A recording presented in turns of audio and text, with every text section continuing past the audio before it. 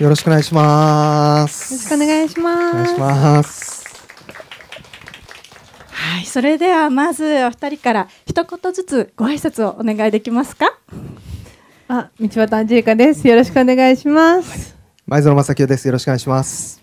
本日あの一般のねリスナーの方この至近距離でお話しいただくんですけれども、まあ、この時間ちょっとねスチール撮影 OK ですのでメディアの方どうぞ撮影をお願いいたします大丈夫でしょうか？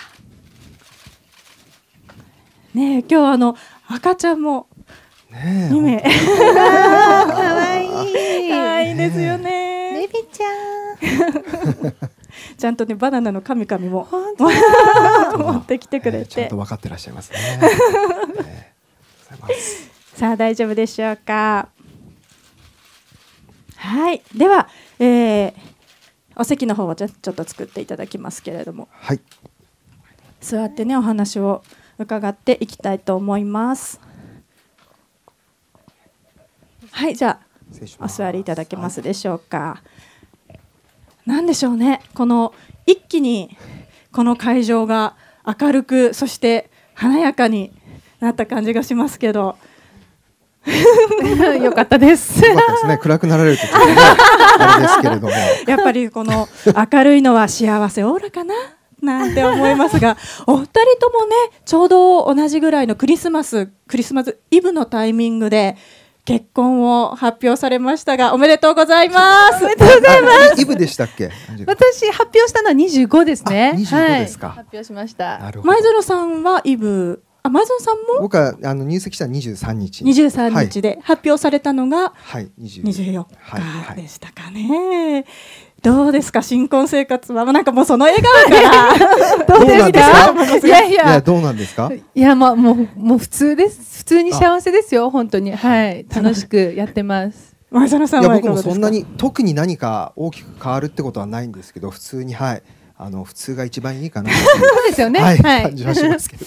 あでも今日16日でバレンタインデーが14日でしたが、バレンタインはどうされました？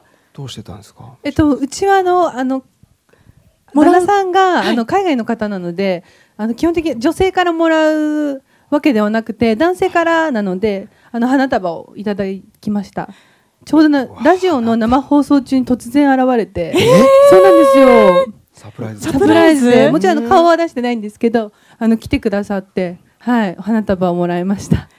そういうサプライズができるっておしゃれですね。なかなかね日本人できないというか。もうでも聞いたので来年できるんじゃないですか、そう。ぜひ。真似ていいですか？それ。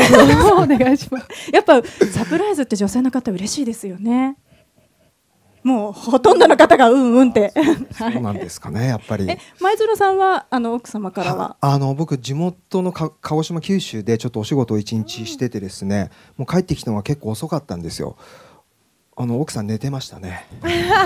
ええだいぶ遅かったんで、はいそういう感じがいいですよ。まあでもねそうですよね、なんか自然な感じええ。が、はい。ちょっと寂しかったですけれども。寂しさ。だだからこそはい。来年は渡したらいいと思います、あそうですね、うん。逆に。はい。そうさせてもらいます。ね、そんなあの幸せなねお二人にお話を伺っていくんですが、あのまあ、今回ランニング東京マラソンもね近づいているということでお二人ともマラソン大会に出られたことがあるとアンジェリカさんはこれまでに、えー、とホノルルマラソン、はいそして石垣島マラソンあはいなんかそうですね暖かいところで走ってるイメージですがそうですね。どまあ暖かいところが好きっていうのもあるし、まあホノルルは結構友達とみんなで、まあ思い出作りも兼ねて行って、まあ時間制限がやっぱりないんで、遅い子もいて経験がない子もいたんですけど、みんなこう一緒にゆっくり走ることができたんで、すごい楽しかったです。結構石垣はガチで頑張りました。はい。なんかこう1時間ん？10キロだったんですけど、はい。1時間切って頑張ろうみたいな感じであ結じゃあもう構1時間。そうなんです。切って頑張って走りました。うん。やっぱまた雰囲気が違いますよね。ゆっくりみんなでこうワイワイ楽しみながら走るのと、ちょっと記録を目指して走るのっていうのは。また違います。でもどっちもやっぱりこうなんだかなんだろう慣れてない景色だったから、あっという間でした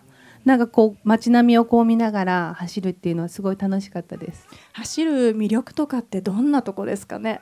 やっぱ達成感じゃないんですか？終わった後のゴールした時の気持ちよさとかがやっぱすごい間で辛くても最後に結局こうやってよかったなと思える？なんか後悔がないのが好き。ううん。ん。やっぱりこの先もなんかじゃあ走ってみたいなとかって思ってますか、思いますよ。東京マラソンもいつか出たいです。おーすごいすごいうん、でも緊張する時間制限がやっぱりあるから ちょっとガチすぎて怖いなと思うけど、まあ一度絶対人生で一回は出てみたいと思います。うん。その人生で一回出てみたい東京マラソンにも、えー参加されてますし、同じホノルルマラソンにもあはい前園さんはね走られたことあるんですよね。まあ、でも基本的にやっぱりマラソンは大変ですよね。その大変40です。うんあのサッカーでもやっぱり走っても12、3キロなんで、あそういあのそう一試合で一試合でやっぱりその40キロ以上走るってことはなかなかないですから、ただまあなんかあの道端さんがおっしゃったようにきついですけれどもこういろんな走ってる方々とこう協力というか声を掛け合ったりとか、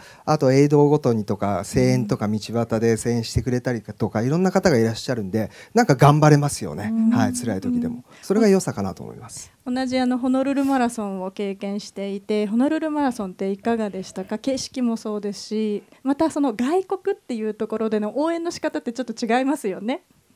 ちょっとお祭りっぽいですよね。そうですよね仮装してる人がいたりするんで。なんかね、あのすごい必死でもう辛いと思ってても隣でなんかファーみたいな感じで そうお祭りみたいに楽しんでる人見てるとあなんだ私も楽しもうってもっとリラックスしようってこう思える、うん。なんかこう気が楽になる少し、ううん。んで東京マラソンはまた今度はずーっと沿道の応援が途切れないっていうところすごいですよはねい、。でもこうやっぱりあのタイム制限の足切りがあったりするんで、そういう意味ではしっかりこうトレーニングしていかないといけない部分もありますけどね。やっぱりサッカーとは違いますか？チームスポーツと、まあ、走るのは一人ではない、一人であの応援はありますけど走る時って一人じゃないですか、はい。その違いというか。まあそうですね、まあ、あの個人でこう一人で頑張らなきゃいけないんですけどでも先ほど言ったように走ってる人がこう声かけてくれたりとか、あの声援があるのでそれはまたちょちょっとこう一人じゃない感覚もありますよねう。んやっぱ応援っていうのは大きな力にいや本当なりそうでよ。ますすよはいね。